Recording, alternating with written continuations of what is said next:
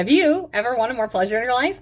You're in the right space. Hey, it's Rachel. I've been an intimacy coach for 10 years. That's inspired me to this extended series all year long where we're talking about ways to incorporate pleasure into your everyday life for yourself, but also a partnered relationship if you're interested. This month, we are talking about content. So no product needed to envelop these ideas around sex and intimacy, I guess. All right. So today what I want to talk about is understanding your sexual expectation really your sexual identity. Okay. So if you are new or you like a lot of words around sexual identity and gender and all those things might be confusing or overwhelming or whatever, here's what you need to know about your sexual orientation, your sexual identity. Okay. It's who you choose to be attracted to. Now, when I was younger, this was actually a controversial thing to say that people choose to be gay because it insinuates that I would choose a path for myself where I would be an outcast or a potential minority or definitely somebody that is more exposed to the potential of danger for sure. That's for sure. Why would I choose this for myself? Now, you do. You do in a sense, right? Because if you really wanted to choose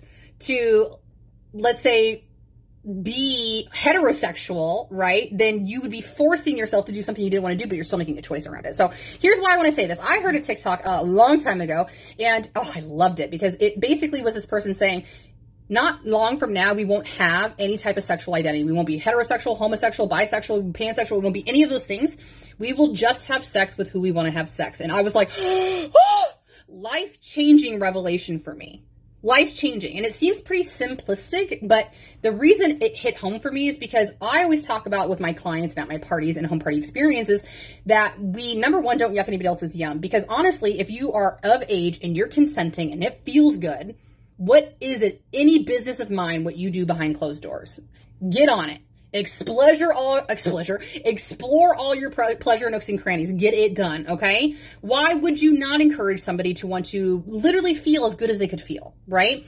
So when you understand what your attraction to any human being is, that's your sexual identity and preference. And the reason I'm saying that is because it's not circumstantial per se that you can switch from being attracted to a man to a woman, but you might find that you attract to an energy that feels masculine a tough type of person, somebody that gets it done, that wants to be the provider, that maybe likes to fix stuff around the house, right? Or maybe you find yourself that is that you're attracted to somebody who comes off as what we describe as feminine, somebody who's soft and soft and soft and whatever, okay?